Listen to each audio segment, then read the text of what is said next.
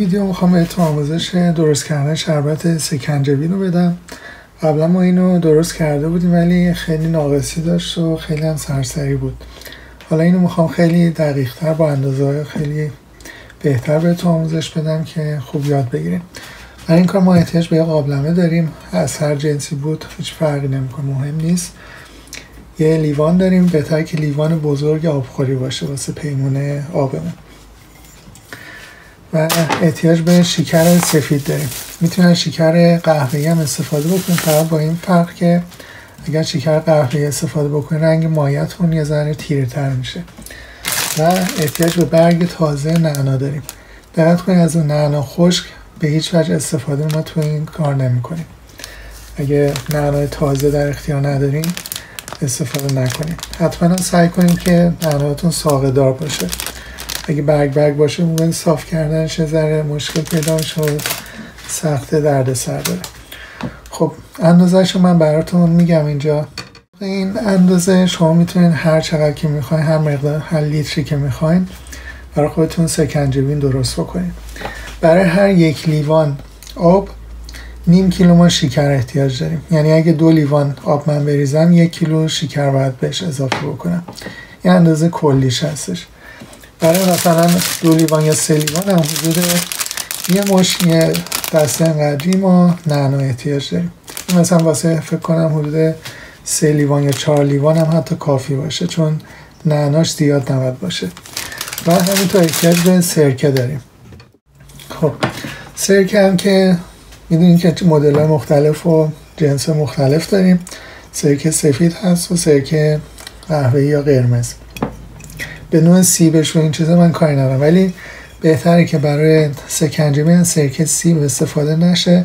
چون سرکه سیب یا سایدر وینگار یه ذره تهمزه سیب تو خودش داره. اگه اونو بریزین شربت سکنجبینتون با اون یعنی در واقع از اسانس نعنا با اون سیب یه ذره قاطی میشه و شاید مزه جالبی پیدا نکنه. یعنی مزه اصل و اوریجینال خودش رو نداشته باشه.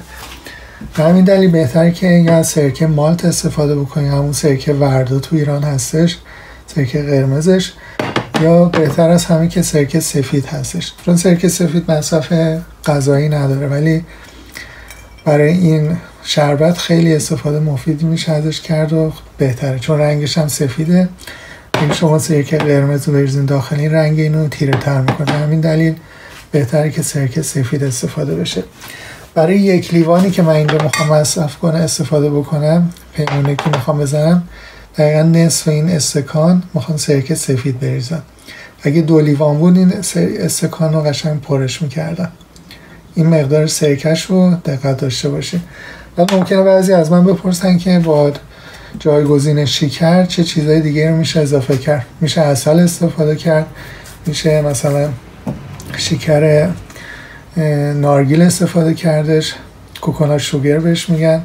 خیلی چیزها رو شما می‌تونید استفاده بکنید. ولی درصد شیرینیش رو خودتون دیگه باید تخمین بزنید. می‌تونید از اصل استفاده بکنید. البته اصل طبیعی که به این مقدار خیلی گرون میشه براتون اصلا صرف نمی‌کنه. بهتره که این کار نکنیم برای اینکه چیز خاصی هم نیست. مقوی است نه اثر دارویی خاصی داره. یه نکته دیگه هم بهتون بگم یه ترفند دیگه است. اگه نعنا در اختیارتون نبود می‌تونید از عرق نعنا هم استفاده بکنید. به خوبی مثلا نعنا نمیشه ولی خب چون همون اسانس نعنا رو داره همون تقریبا مزش رو بهش میده. می‌تونید این کارم بکنید. چون ممکنه بعضی ها نعنا در اختیارشون نباشه از اسانس نعنا استفاده بکنید. حدود نصف استکان عرق نعنا رو به این اضافه بکنید. همون کار رو تقریبا انجام میده براتون. دیگه نکته خاصی نداره هیچ چیز افزودنی مثلا هل و اینجور چیزا ما بهش اضافه نمی کنیم فقط سه تا ماده اصلی داره. آب داره شکر داره سرکه داره نعنا داره. همین. هیچ چیز دیگه استفاده ما نمی کنیم خب میریم که اینو با هم دیگه شروع کنیم درست کردن که ببینید چقدر ساده و راحته. سکنجبین که مصرفش رو می‌دونیم. واسه کاو سکنجبین توی تابستونه معمولا میخورنش. یا مثلا با شربت سکنجبین درست می‌کنن و تابستون جلو مهمون می‌ذارن. این تنها مصرفیه که من می‌دونم. اگه چیزای دیگه هم هستش و شما می‌دونین بنویسین زیر کامنت ها منم یاد بگیرم. خب کار خودمون رو شروع می‌کنیم. من اول شکر رو میریزم توی قابلمه حدود نیم کیلو شکر داشتیم.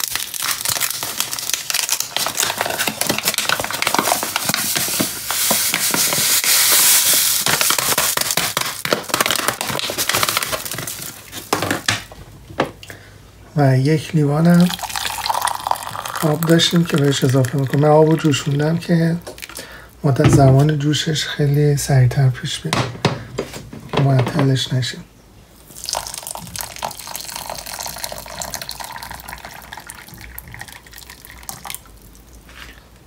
یه لیوان بهش اضافه می‌کنیم و شروع می‌کنیم هم زدن. سرکه و نعنا رو فعلا اضافه نمی‌کنیم. من نعنا به این شکل دسته کردم تهش هم با نخ بستم که وقتی که موقع شد این داخل این بذارمش. با کش بهتره که این تهش رو نبندیم برای اینکه پلاستیک تو آب جوش که میندازین خوب نیستش. پلاستیک مواد مضر داره و تو پلاستیک چیزش آزاد میشه و حل میشه خوب نیستش. خب سعی می‌کنیم آب جوش بیاد و شکر رو حل بشه.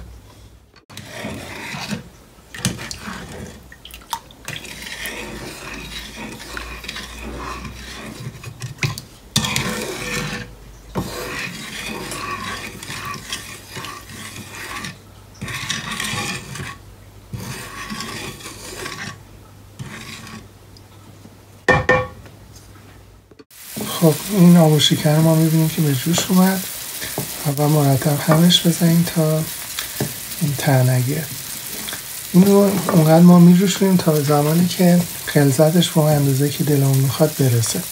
الان می‌بینی هنوز یه ذره رقیق هستش اینو باید یه ذره بیشتر جوشون تا کمی غلیظ بشه. و خیلی دقت داشته باشین. شکری که تو آب میجوشه. خیلی خیلی حرارتش بالاست. روتون نریزه. حتما با قاشق چوبی اینو بعد همش بزن قاشق پلاستیکی به هیچ وجه استفاده نکنید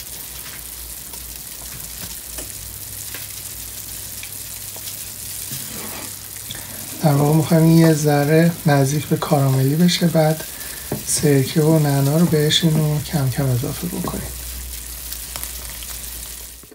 خب شربت ما یه ذره غلیظ شد. حالا این نعنا رو من به این شکل داخل این قرارش میدم.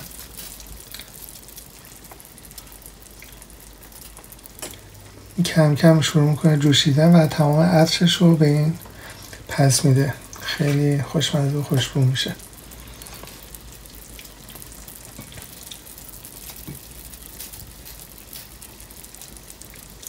نه اگه برگ برگش رو بریزیم موقعی که می‌خواین صافش کنین خیلی دردسر پیدا می‌کنه. دونه دونه برگا رو باید جمع بکنین ولی وقتی که اینجوری یه دسته باشه با چوبش باشه راحت این رو در میارین و دور میریزین خیلی ساده است.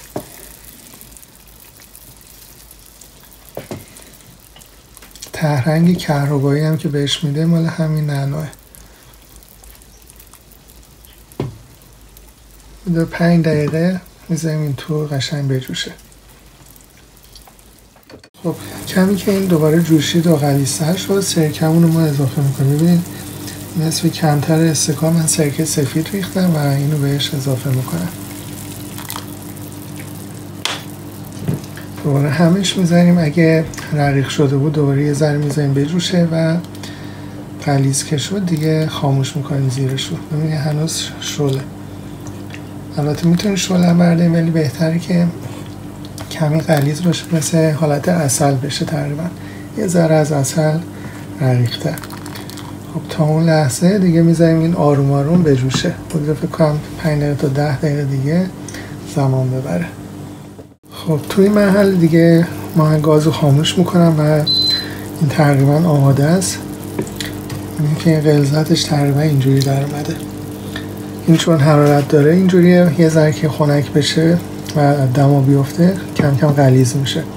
این شاخ نعنا هم همینجوری کنارش می‌تونیم بذاریم. بعد که سرد شد راحت درش بیاریم و بندازیمش دور. همین سادگی. خب من می‌زنم تا این از جوش بیفته و کمی هم خودش رو بگیره بعد میام که ببینیم چجوری شده. خب شربت ما الان سرد شد و کاملا غلیظ شده. ببینید. دیگه آماده است که ما توی شیشه بریزیمش.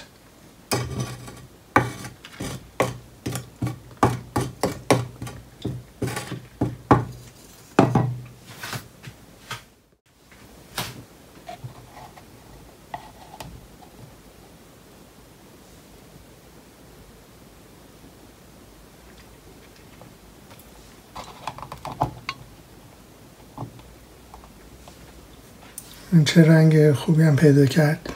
اگه سرکه قرمز میریختین این که کم تیره تر می‌شد.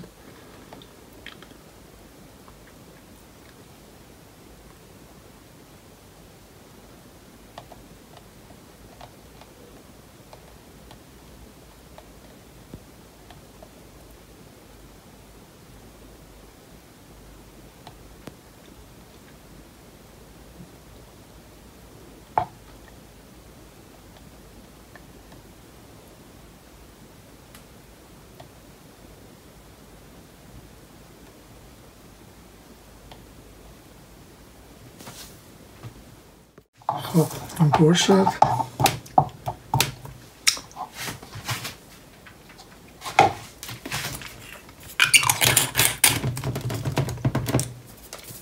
و تموم اینو لازم نیست توی یخچال شما نگهداری کنید میتون بیرون بذاریم پنجاش خنک باشه کمی و تاریک. همین کار دیگه نداره. و همین راحتی هم سکنجبین مدرن این لیترش هم من بهتون بگم.